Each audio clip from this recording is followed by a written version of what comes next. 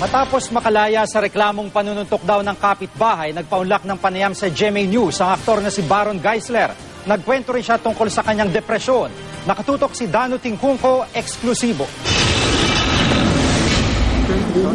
Kasama ang kanyang abogado humarap sa GMA News si Baron Geisler. Ipinakita ni Baron ang mga galos niya sa likod at braso. Nakuha raw niya nung nagkasakitan daw sila ng kapitbahay na si Raimundo de la Rosa at sa umunoy pambubugbog naman sa kanya ng kapwa niya preso sa detention cell ng QCPD Station 5. Naupakan pa ako sa loob ng kulungan eh.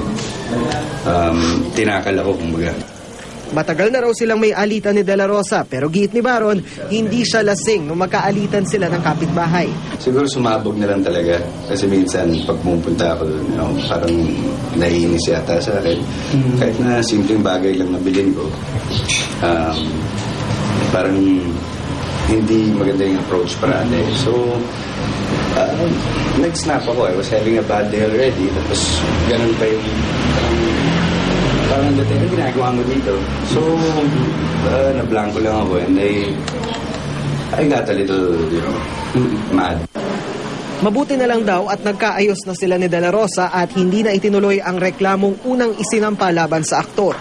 Ikinwento rin ni Baron na matagal raw niyang sakit na depresyon na nauwi sa self-medication o pag-inom ng gamot ng walang reseta ng doktor. Everything naging positive.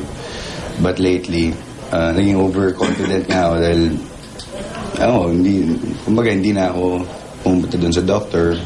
Yung pala, uh, nagkamali ako.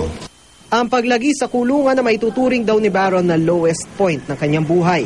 Pipilitin daw niyang baguhin ang takbo ng kanyang buhay pero pakiusap niya sa publiko, mas malawak na pang-unawa. Dano, tingkong ko nakatutok, 24 oras. Tinanggi po ng desk officer ng QCPD Station 5 sa Fairview na binugbog ng mga preso si Baron Geisler. At uh, prinotektahan pa nga raw ng mga preso aktor para di makuna ng litrato at video ng media. Ayon naman kay Raimundo de la Rosa, noon pa man ay may alitan na sila ni Baron. Pero okay na raw ang pakikitungo nila sa isa't isa matapos silang magkaayos kahapon.